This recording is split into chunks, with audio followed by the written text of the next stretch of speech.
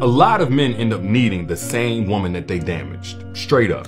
And then got the nerve to be like, she changed. She ain't the same no more. Bruh, she didn't change. you changed her. You changed her.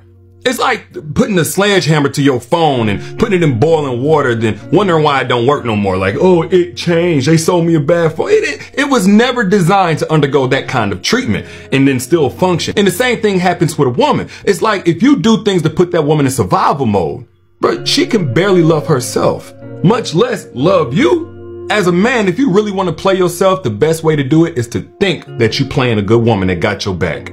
Cause God gonna make sure she's straight. God gonna make sure she heal. But if you do a woman like that and you lose her, boy, you gonna feel that in your chest forever.